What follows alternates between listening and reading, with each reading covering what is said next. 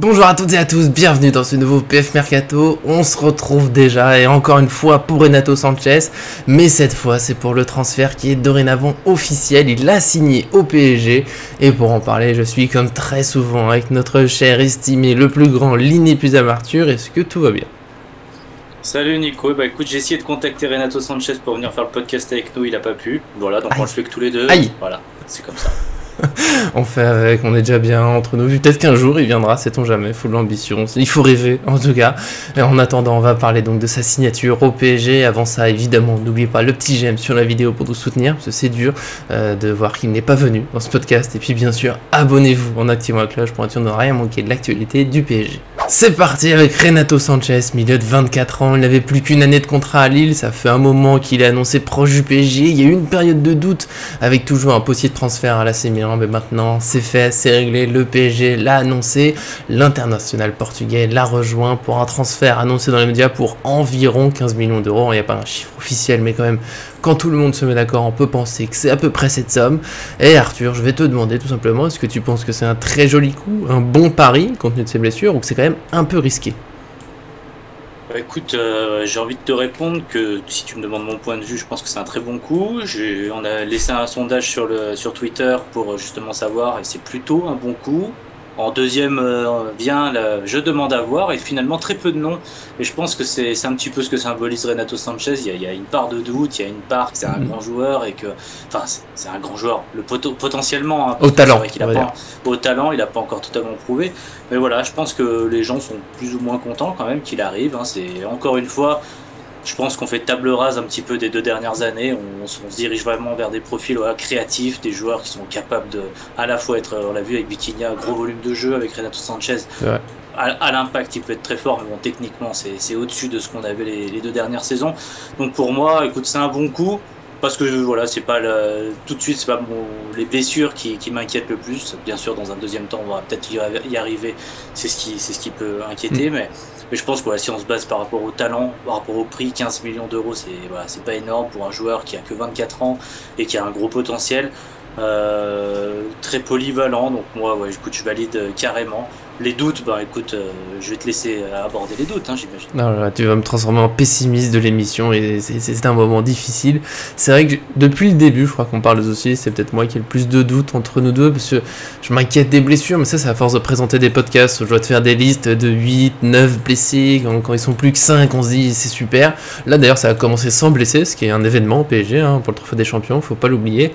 Voilà, c'est ma petite inquiétude, c'est de le voir souvent sur le banc, puis cette frustration de se dire ah, c'est un super joueur, mais on le voit finalement tellement très peu à son meilleur niveau, parce qu'un joueur, bah, déjà quand il est blessé, évidemment il est pas là, mais après quand il revient, ça peut prendre du temps. C'est un peu le problème de Neymar, c'est que souvent il lui faut 4-5 matchs pour retrouver son meilleur niveau, il les a pas toujours parce qu'il se reblesse. Donc j'espère que Renato Sanchez euh, tombera pas là-dedans. En plus, bizarrement, ce qui m'inquiète le plus, c'est que ces blessures, de, ce qui ressort des conférences de presse de ses anciens entraîneurs, des propos autour de lui, c'est que c'est pas un problème de sérieux, c'est voilà, c'est une part de malchance. Alors ça peut disparaître à un moment, et tant mieux, il enchaîne.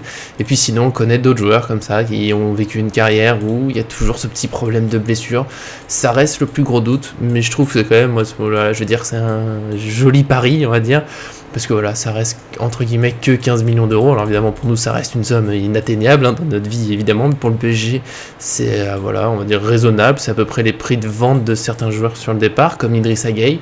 Et justement, c'est là où je pense un bon pari, c'est qu'il a que 24 ans, donc si les blessures s'arrêtent, bah, il peut faire encore une carrière assez énorme, hein, faut pas l'oublier, il reste assez jeune.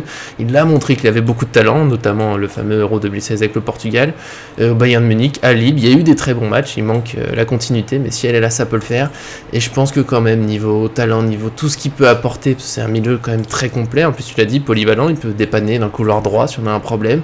Il peut jouer en 10, il peut jouer dans les relayeurs du 3-4-2-1, euh, voilà, 3-5-2.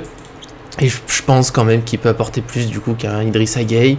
Danilo qui a des qualités mais qui est un peu plus limité. Paredes qui reste un joueur en fait assez irrégulier avec aussi des blessures. Donc voilà, je pense que c'est pour ça que ça vaut le coup. Je pense qu'il y a au moins assez facilement moyen entre guillemets d'avoir mieux que ce qu'on avait jusque là. Oui, oui, en termes de potentiel de jeu, je trouve que c'est au-dessus de, tes joueurs, surtout dans la créativité, mais bon, après ça, ça dépend ce que l'entraîneur demande. Apparemment, Galtier veut jouer offensif et veut proposer du beau jeu, donc euh, Renato Sanchez s'inscrit là-dedans.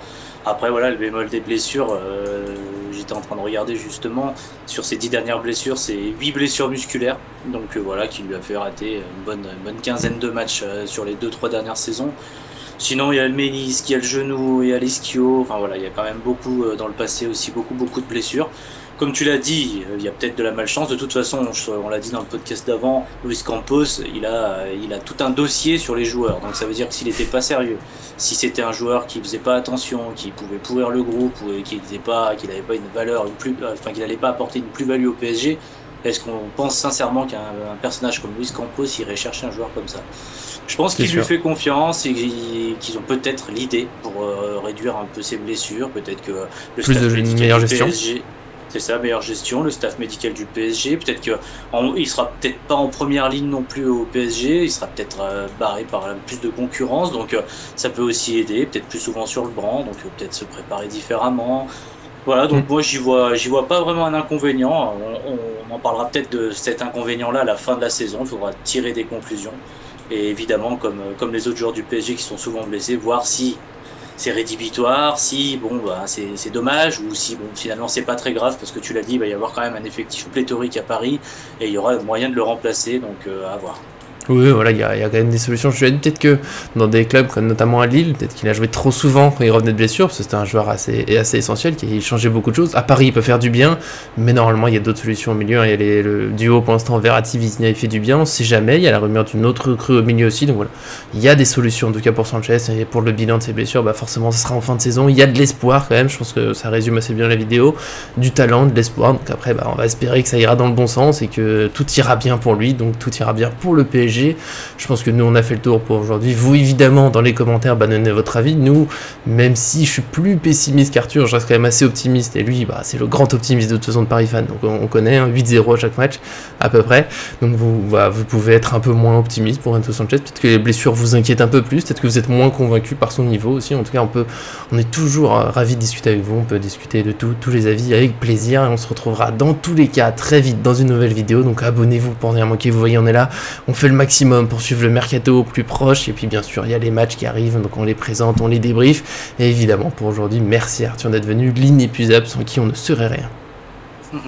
Bah écoute, merci à toi. J'espère que pour la prochaine vidéo, euh, je réussirai à avoir Bijnaldo mais gay. Ça pourrait être pas mal.